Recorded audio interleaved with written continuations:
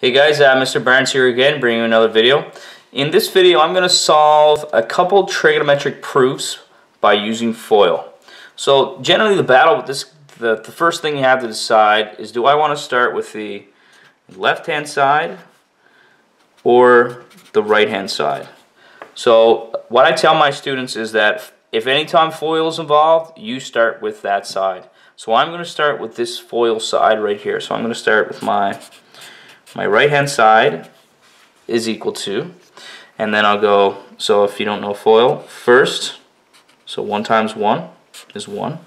Then outside, 1 times sine is positive sine.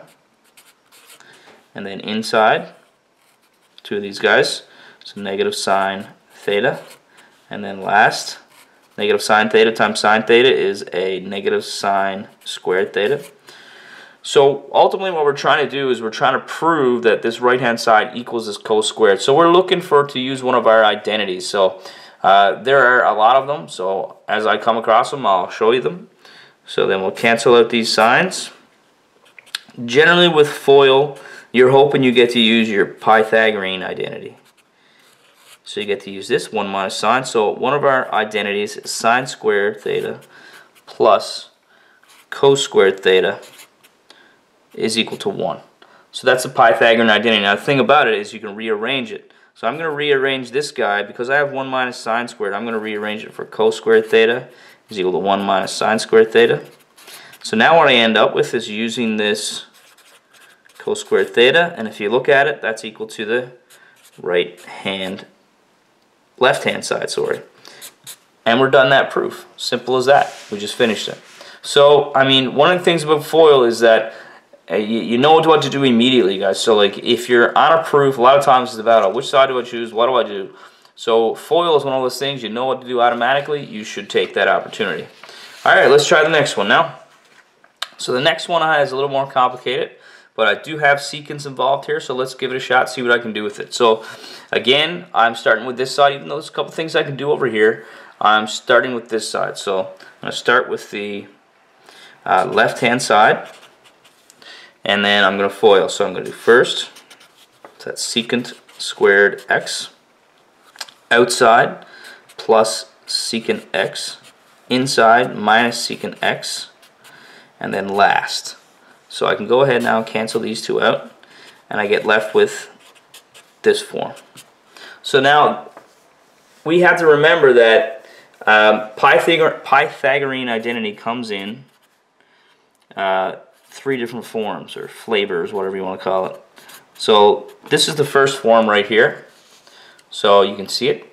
The second form is when I divide everything in this guy by uh, secant or uh, by sine squared.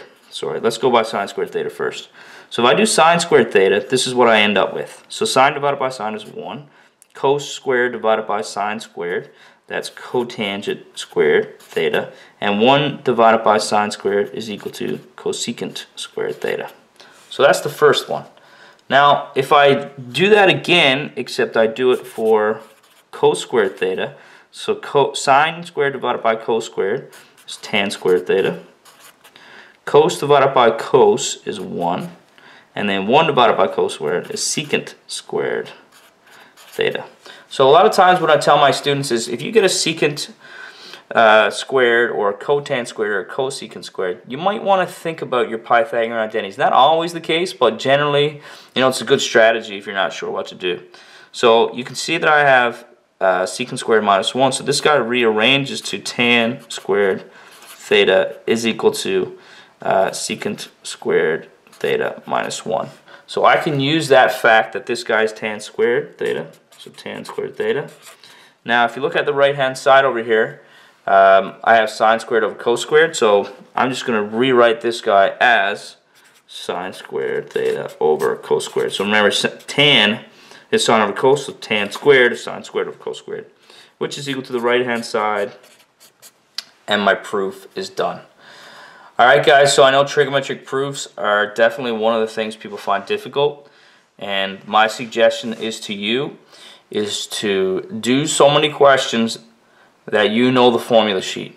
So your teacher's probably going to provide you with all these identities and stuff like that. So you really have to be familiar with them. And where I've seen students fail is getting into proof and not recognizing things as they go down because they haven't done enough practice. So if you do the practice, you will expose yourself to enough of these examples. All right, guys. Thanks for watching. I'll see you guys in class.